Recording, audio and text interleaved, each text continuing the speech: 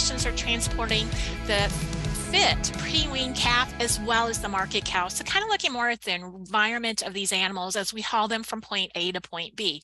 And I think one of the key things we want to remember is this is also part of enrichment. So an environmental enrichment, providing an area uh, for the calf that is safe for them or for the market cattle so that they come into the, uh, from the farm to their next location injury free and less stress as it comes about.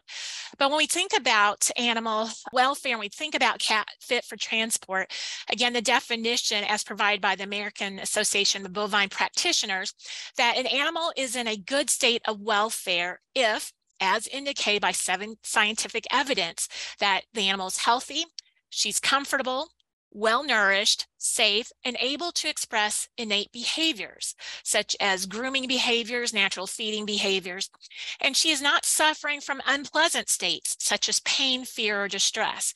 And that really drives kind of what we talk about and try to strive to provide our animals when we're talking about animal welfare.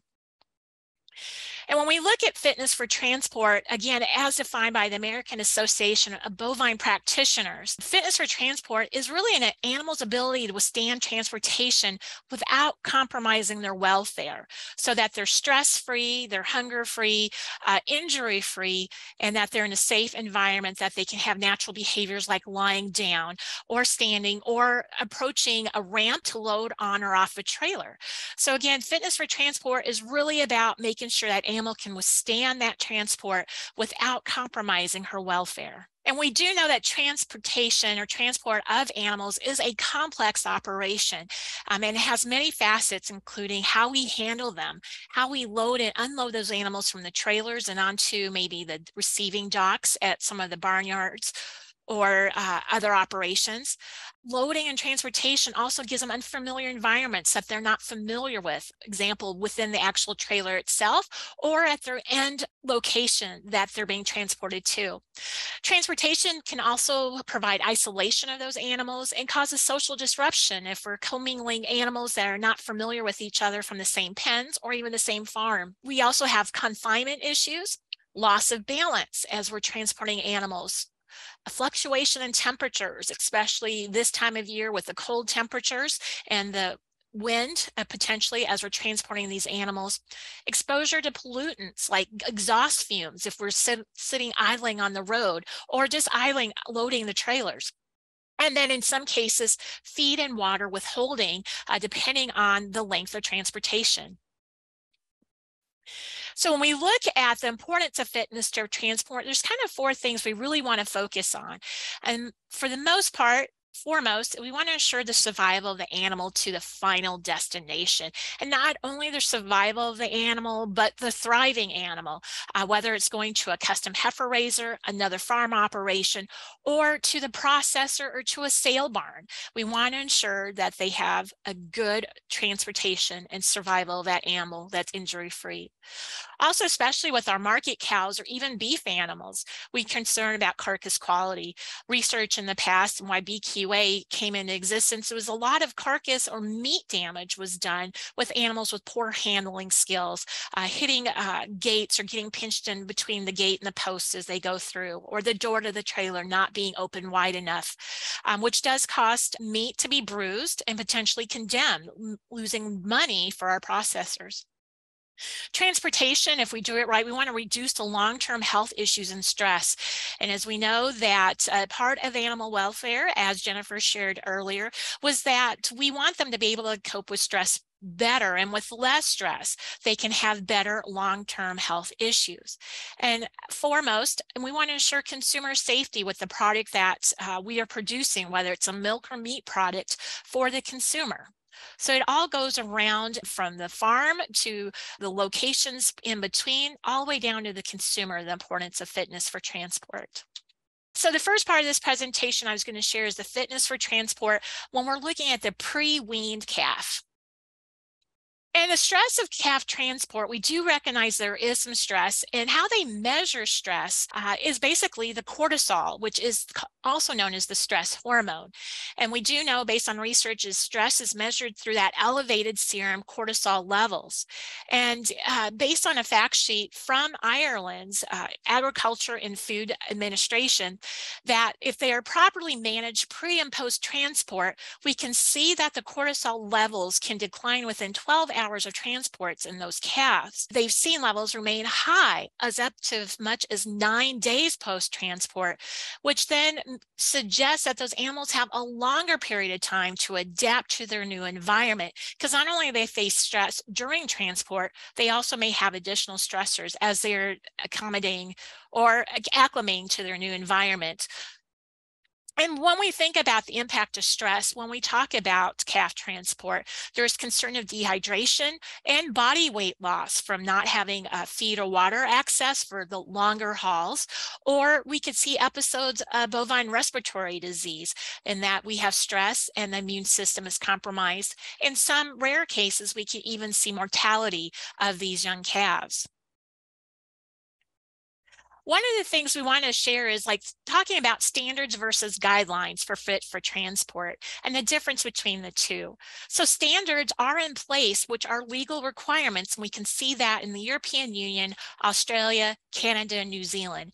And these legal requirements dictate what it is to require to transport a bob veal calf, a dairy calf, pre-weaned calf, or other type of young animals. Even the age at time of transport, the whether a navel is completely healed, whether the transportation is short or long distance and the duration of that before stops, not to exceed so many hours. Also, the fact that if they do have to stop between stops for rest, they must stop for a minimum set of hours between that. They also have requirements about the space available to the calf during transport and actually how to load those animals. Also, there's requirements on what the, needs to be done to the calf prior to transport, including adding uh, feeding liquid feed prior to loading, as well as colostrum management and processing the newborn calf. However, in the United States, we don't have standards established, but we have guidelines which recommend best management practices in managing these pre-wean calves in transport. The only federal law that regulation, excuse me, that the United States has is the 28 hour rule, indicating that animals cannot be transported for more than 28 hours straight. But there are several guidelines to help improve the welfare and reduce the stress of our newborn calves when it comes to transport, including the American Association of Bovine Practitioners, BQA Transport, Calf Care Quality Assurance, Dairy Calf Heifer Association, and the National Dairy Farm Program. And again, we're only talking about guidelines that we have, but good management practices that should be utilized, whether your pre-weaned calf is hauled to a custom heifer raiser out west, maybe a couple of hours from the farm, or even to another location within just miles of the farm. And one of the key things is are your calves ready for transport? And things to consider is the colostrum management program. Are those calves receiving adequate amount of colostrum in the required amount of time. And that's good high quality colostrum. And remember our calf is born with a naive immune system. Basically she's a sterile animal until she receives those antibodies through passive immunity through the transfer of immunoglobulins through colostrum. So we want to make sure we set her immune system up for success by making sure she has adequate colostrum management. Given is being able to identify those animals immediately before they go on to transport or immediately at birth so that we know which animals are which and ideally with a double ear tag system in case one tag gets ripped out. This helps not only you, but also the receiver know which animals they are receiving and have better track of those animals. Animals obviously needs vaccination protocols, um, both from a dam and the newborn based on the veterinary client patient relationship that you developed with your veterinarian and a vaccination program that fits your farm, but also maybe who the receiver of those pre-weaned calves are, whether it's a custom heifer raiser or an individual that is raising them for beef. You want to meet those standards or meet those best management practices and vaccinations to help improve and have a good immune system. And then also many of these things getting calves ready for transport is really about processing the newborn calf. And we wanna make sure that we have proper navel care. And when we think about the navel, remember when she's in utero that we have nutrients and good things going into the calf through the umbilical cord and then waste leaving the calf from the umbilical cord. So at the time of birth, we actually have an opening still to the interior of the calf through that navel stump. And we need to properly care for that navel by disinfecting it and then also drying it, ideally with a 7% iodine tincture or equivalent solution. And this way we can help dry off that navel, seal up that navel opening as soon as possible so that we can reduce the amount of potential pathogens that can enter the bloodstream of the calf. And especially with a lot of stressors and new environments, we want to make sure that navel is uh, properly cared for and then managed. Another thing when we talk about if your cows are ready for transport is some of them may be going a long distance, especially out of state to a custom heifer raiser. And we want to make sure their tummies are full, especially if they're not going to have access to feed or water during transport. And to do that, we want to be able to feed them proper nutrition right before loading, but not less than an hour before transport.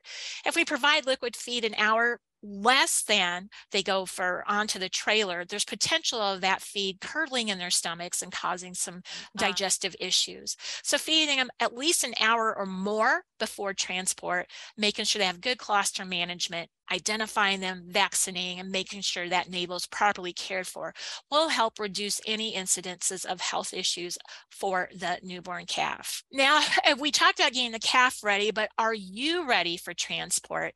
And we want to make sure that the environment that we're transporting our pre-weaned calves is properly uh, ready and set for those animals. Think about the transport design and the space that our calves are going to be hauled in.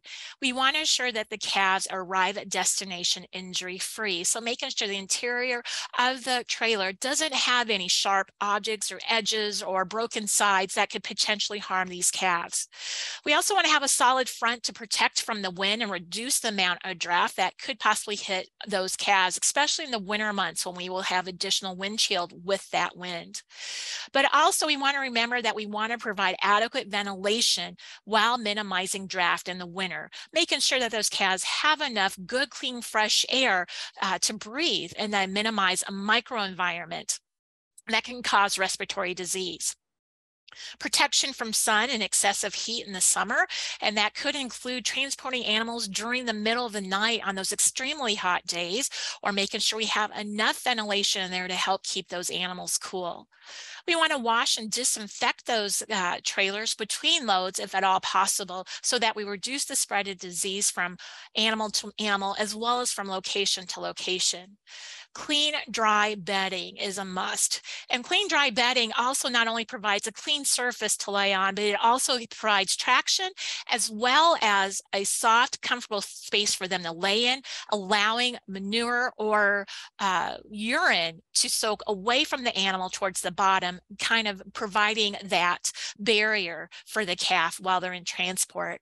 And it also provides a nice, comfortable area from away from the hard surface of the trailer. We want the uh, stocking density low and many different recommendations on what that uh, stocking density can be for those calves. But one rule of thumb is each calf needs to be able to lay down comfortably, lay down and be able to get up comfortably and not be stepped upon by other calves. So as you're looking at your trailers and uh, having calves, a lot of them will lay down as pre-weaned calves because of, of their age, but they want them to be in an area so they can lay down comfortably without trying to disrupt another animal. Also, we have a lot of different um, age requirements or age recommendations for animals um, for time of transport and age. Uh, Vermont advisory group several years ago has a minimum of three days old at the eight time of transport. We've seen even upwards of four days, even uh, out, I believe the European Union is even looking at nine days of transport. And a lot of that is related to the care and the complete healing of the navel cord. But right now, our best management practices based on some of our organizations here in the United States, a minimum of three days old at time of transport is the earliest we should do that. We also want to look at the length of time that she's on the trailer. Canada just several years, a couple years ago, uh, changed their requirements to 12 hours at a time on the trailer at any given time before stopping for rest and water and uh, feed offered. And our calf care quality assurance recommends less than 24 hours on a trailer. So a lot of different information, not a lot of research, but yet a lot of good best management practices from organizations, as well as looking at some of the other countries that, that we support and work with can help us look at ways to improve animal welfare and reduce the stress of transport for these pre-weaned calves. So with this, this next section we'll have um, Aerica Bjurstrom, our Extension Regional Dairy Educator for Kewaunee, Door, and Brown County, talking about fitness for transport on the market cows. Thanks, Tina. So moving on to the cows, and we often think about sending cows out as you can move to the next slide, Tina. We often think about cows as being a cull cow, and that's the word that we've all gotten used to for many, many years. And uh, a cull isn't really the, the kind of word that we want to associate with the cows that we're sending off of our farm for harvest. When we think about culling, we think of it as to reduce or control the size of something such as a herd, as we're talking about here with our dairy herd, by removal of slaughter and that we're especially taking out weak or sick individuals. So when we think about it in a wild herd management, for instance, we have the chronic wasting disease in deer, and they specifically call that culling because they are removing those sick and weak individuals. We as dairy producers should think of this as a market cow. These market cows are something that you offer for sale. They have value. And according to Farm Bench, market cows or cows sold off the farm for slaughter make up about six and a half percent of total farm sales. So that could be for a dairy of about 250 cows, could be somewhere in the range of 60 to $100,000 a year in sales. So uh, we we want to think about those cows as something of value. So try to get that word in your head, market cows, as opposed to cull cows. And when cows do leave the herd, they leave for two reasons voluntary for milk production levels or reproduction, and involuntary. So, those are the things such as disease or illness, injury, mastitis, and lameness. The reasons that animals leave for health reasons in the herd, as you can see here, according to this National Beef Quality Audit, uh, uh quite a large amount of them leave for cancer eye, BAs, and down for at least 24 hours. And of course, we know we can't harvest those cows if they've been down for 24 hours or down at all, really. And uh, these are, again, reasons they're leaving the herd for health reasons, uh, lameness, and other diseases.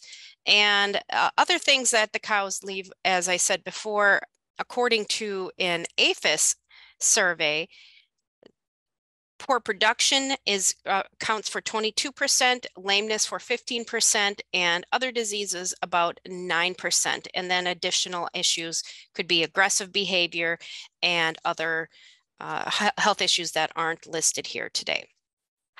So moving on and talking about the market cow, the as Tina said, the American Bovine American Association of Bovine Practitioners have developed a set of guidelines for determining fitness for transport. And every farm should establish those set of standards uh, in their herd with their managers and their veterinarians that result in marketing the best cow possible. And we'll talk a little bit more about what these practices are and what you should do in order to, for that cow to leave the herd. And cows leaving the herd should be ensured of their welfare until they are harvested. So next, we're going to talk about the American Bovine Practitioners Fitness for Transport Guidelines. And this is something that when you send a cow off your farm, you should really think about what needs to be done to this cow in order for her to be ensured her comfort until harvest, or if she's not fit for transport, then she shouldn't be put on the trailer. Cows should not have distended udders. A simple solution, excuse me, a simple solution to that is milking the cow before she leaves. Uh, no ambulatory issues, as you know, if a cow goes down, they're not going to harvest her and you're going to get the bill for the cow. So don't put a cow in a trailer that has some kind of ambulatory issues with the possibility of going down during her transport. Now, cancer eye or blindness, those cows should be euthanized before they leave the herd. No fever. So if a cow is showing signs of fever, taking a quick temperature and checking that before she leaves is a real simple solution to that. No potential drug residues or withhold issues. This is a big one. This is all about record keeping and make sure that you keep good records on your herd so you know who has what in them and for how long. No leg fractures or severe lameness. If those cows are severely lame or have leg fractures, don't put them on the trailer. Uh, no unreduced prolapses. Again, uh, the cow herself could or could not be stable, but I've seen this in, I used to work in a packing plant. I've seen this in many situations where a cow with an unreduced prolapse has been jostled around in the trailer and it has begun to bleed and she was bleeding profusely by the time she reached the packing plant. Don't put your cow in that situation. If she does have an unreduced prolapse, allow that to either reduce or euthanize the cow on the farm. Not currently calving or potential to calve.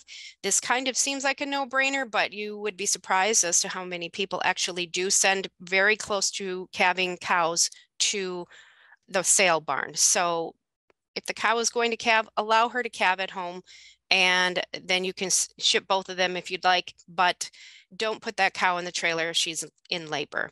And then no visible open wounds. Again, that isn't necessarily a, a health risk for that cow, but it is very much dependent on how visible or excuse me how open that wound is or how painful that wound is for the cow and whether or not that's going to cause her prolonged suffering during her trip and dairy cattle they make up about 20 to 25% of the US beef market. And it's kind of a surprising number to people, but dairy cattle provide much of our ground beef, but they also produce a lot of other types of cuts of meat. And I'll talk about that a little bit here in a minute.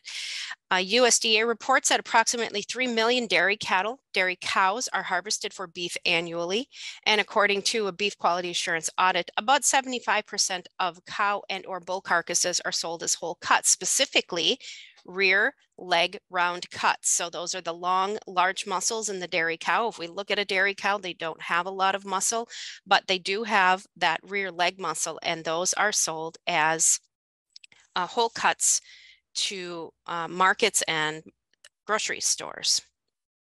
When we're talking about transporting these cattle, we need to take into consideration that they are not necessarily going to go to the packer right down the road. Uh, I am in the Green Bay area and we have two large packers right in town here and uh, the majority of the dairy cattle in this country are harvested in the upper Midwest, typically Wisconsin, uh, Pennsylvania, North Texas, Arizona, and California.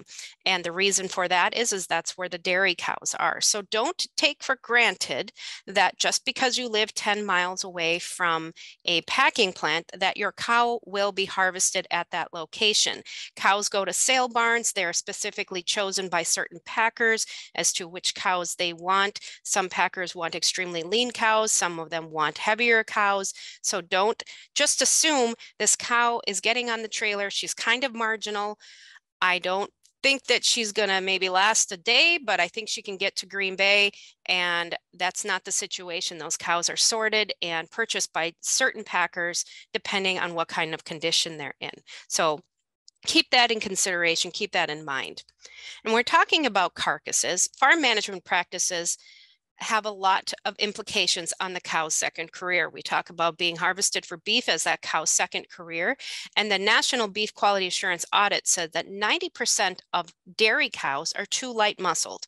We would expect that from dairy cows, but a lot of them going to market are on the light side when it comes to conditioning. So a body condition score average is 2.3.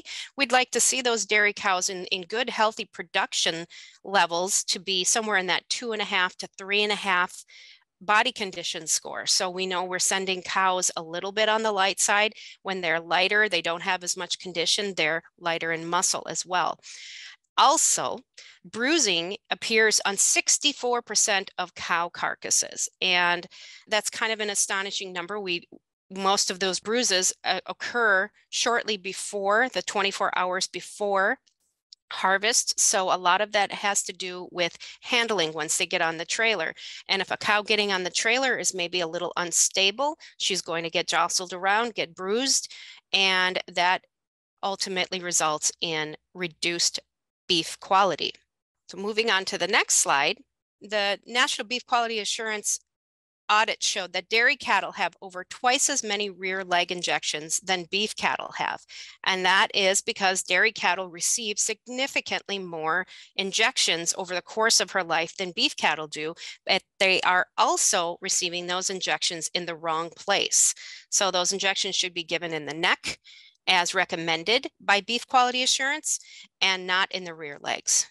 Le lesions are occurring in the high value rear leg cuts, and that has to be cut and discarded from an already light muscled animal. So when you're taking an animal that only has three or 400 pounds of meat on it and throwing away its biggest cut of meat, you're really reducing the value of that carcass. And again, as I said, the 64% of cow carcasses are bruised and that needs to be cut away and discarded as well.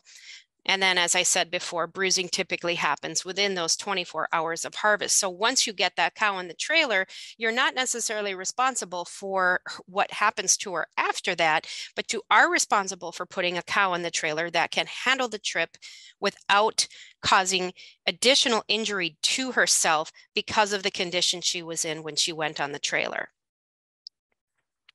And as Tina said, transport is very complex and our transporters play a critical role in the health and the welfare of the cattle. So once they get on that trailer, as I said, you're not necessarily responsible for uh, how those animals are treated or how they're they're handled, but it is your responsibility to put an animal on the trailer that can sustain that trip in good health and proper handling transport of cattle can reduce sickness and injury, prevent bruises, and improve the quality of the meat of these animals once they get to where they're going. And it is a best practice for transporters to be trained how to properly move cattle up and into a trailer and to remove them from the trailer and distribute them properly on the trailer, provide proper bedding, provide proper space, and employ the best hauling techniques that reduce the stress on the cattle. Now, the five freedoms is nearly 60 years old. They are something that we try to abide by as people who raise dairy cattle or raise cattle in general or any animal. Uh, freedom from hunger and thirst, and that is to have readily accessible water, fresh water, and help maintain health and vigor of those animals. And this isn't necessarily just in transport. This is wherever they are, wherever they're being housed, wherever these animals are residing at that time.